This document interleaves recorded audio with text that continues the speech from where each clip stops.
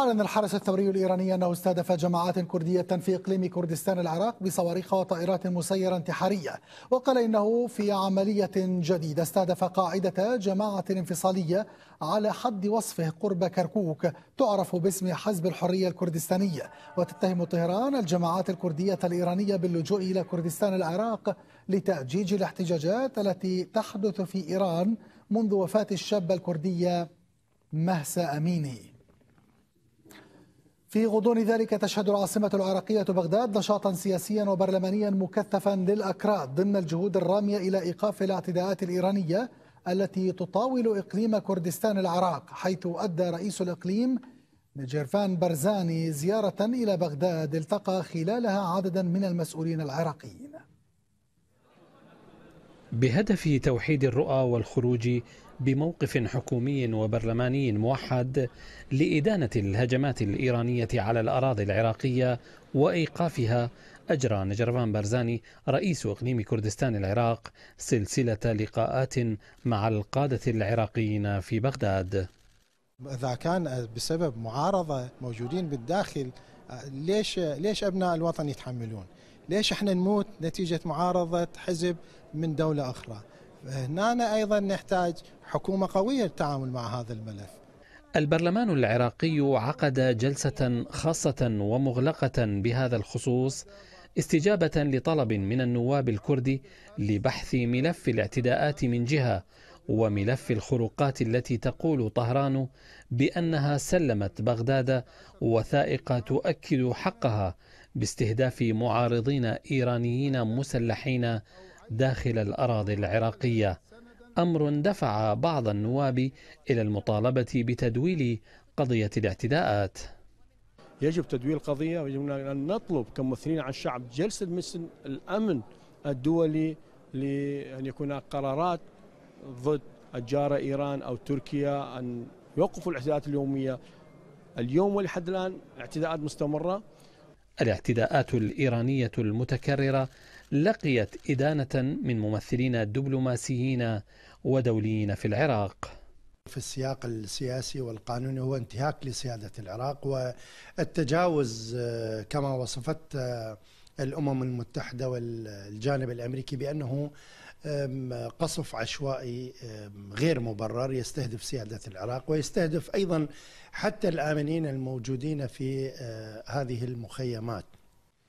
الشارع العراقي الممتعض من الممارسات الإيرانية لا يبدو مهتما بالتعليق كثيرا على الأحداث الجارية تاركا الأمر إلى السلطات المعنية. ردود أفعال وتصريحات قوية لكنها لا ترتقي إلى مستوى اتخاذ إجراءات رادعة. وهو ما يفتح الباب أمام إمكانية تكرار الاستهدافات ومزيد من التصعيد. ضياء الناصري العربي بغداد. ومتابعة لهذا الموضوع ينضم لنا من أربيل مراسلنا غسان خضر ومن بغداد مراسلنا ضياء الناصري أهلا بكما. أبدأ معك غسان. إذا قصف إيراني جديد على مواقع في إقليم كردستان العراق ضعنا في تفاصيل هذه المواقع المستهدفة وردود الفعل على ذلك. يحيى المواقع المستهدفة هذه المرة هي في منطقة بين كركوك وبين أربيل. آه، هنالك يتواجد حزب آه، أزادي أو حزب الحرية وهو أيضا حزب إيراني معارض.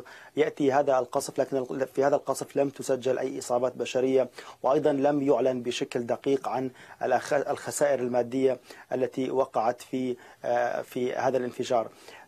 طبعا هذا هذا القصف يأتي بعد يوم واحد فقط من أيضا قصف طالة السليمانية وأربيل. آه، طال حزب آه، الحزب الديمقراطي الإيراني المعارض وأيضا آه، حزب كومالا وهو حزب أيضا ينشط في السليمانية. آه، سياسيا يحيى دعني أشير إلى أن المسؤولين هنا في إقليم كردستان بعض المسؤولين يقولون بأن إدانة القصف لم تعد كافية وأنها على ما يبدو يعني حتى الآن لم تأتي بأي نتيجة لأن القصف متكرر وقبل قليل كان هناك أيضا آه، آه، بيان من الحرس الثوري الإيراني قال أنه يطالب يطلب من سكان إقليم كردستان الابتعاد عن المناطق التي يتواجد فيها أماكن أحزاب المعارضة الإيرانية وهو يعني تهديد بأنه قد يواصل قصفه مرة أخرى. مسؤولون في إقليم كردستان يقولون بأن الإدانة لم تعد كافية لأن القصف يبدو أنه سيكون مستمرا ويواصل مرة أخرى يقولون يجب أن تكون هناك يعني حوارات ثنائية عراقية إيرانية من أجل آه، وضع حد لهذا القصف. أيضا اليوم مبعوثة الأمم المتحدة في العراق تقول بأن القصف الإيراني لا يمكن يعني آه، يعني بات يمثل خرقا كبيرا للسيادة العراقية ولا يمكن السكوت عليه. عمليا يمكن أن نشهد أيضا قصف على غرار آه، بيان الحرس الثوري الإيراني. وأيضا التوقيت بالأمس كان هناك قصف لثلاث لمنطقتين. واليوم أيضا قصف لمنطقة في كركوك يتواجد فيها حزب إيراني معارض. نعم غسان منك أتحول إلى ضياء الناصري في بغداد. ضياء كيف تتعامل الحكومة المركزية مع هذا القصف الإيراني خاصة في ظل الاتهامات للحكومة المركزية بهشاشة موقفها المكتفي بالتنديد والاستنكار؟ نعم بالفعل يعني التنديد أو الرفض القاطع كما جاء في نص البيان الذي صدر عن وزارة الخارجية العراقية يوم أمس لم يختلف كثيرا عن البيانات التي صدرت آه، مساء اليوم آه، بعد لقاء الذي أجراه نجرفان آه، بارزاني رئيس حكومة اقليم كردستان مع رئيس الوزراء محمد الشيع السوداني ومع رئيس الجمهورية الدكتور عبد اللطيف رشيد إضافة إلى الفعاليات السياسية وقادة الكتل السياسية أيضا كانت ردود الأفعال نوعا ما آه، بوتيرة آه، يعني وصفها البعض بأنها لا ترتقي إلى مستوى الحدث الأمني والاستهداف الذي آه، تشهده عاصمة ومحيط إقليم كردستان يعني محيط عاصمة إقليم كردستان. بكل الأحوال أيضا الجلسة النقاشية المغلقة لمجلس النواب انتهت دون صدور أي بيان حتى الساعة